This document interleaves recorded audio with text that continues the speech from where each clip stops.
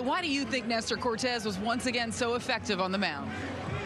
Uh, he's a competitor. You know, he's a gamer. You know, he's not gonna. He's not afraid of anybody.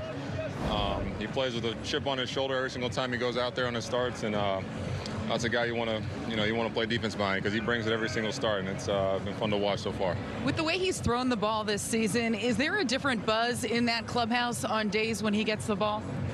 That's been a buzz since last year. You know, he's uh, he, like I said, he brings it every single day. Um, just his intensity, his confidence in the on the mound, in the dugout. He's, he's just he's one of the guys. You know, so um, yeah, we get excited when we see Big Nestor, Nasty Nestor out there.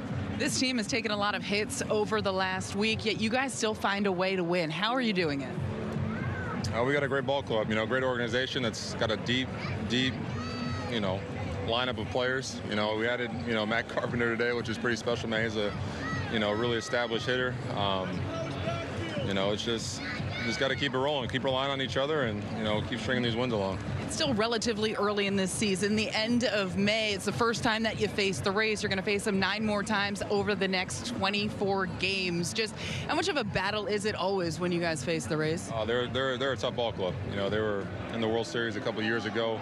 Um, booted us out of the playoffs in 2020. Um, you know, they're a great ball club, and you know they got a great pitching staff. You know, they're crafty. They got a lot of hitters in that lineup that can you know hit for power and get on base. Steal. They got ba- good base running. So you know, it's, it's always a challenge, but we're, we're up for it. Aaron, thanks for the time. Thank you.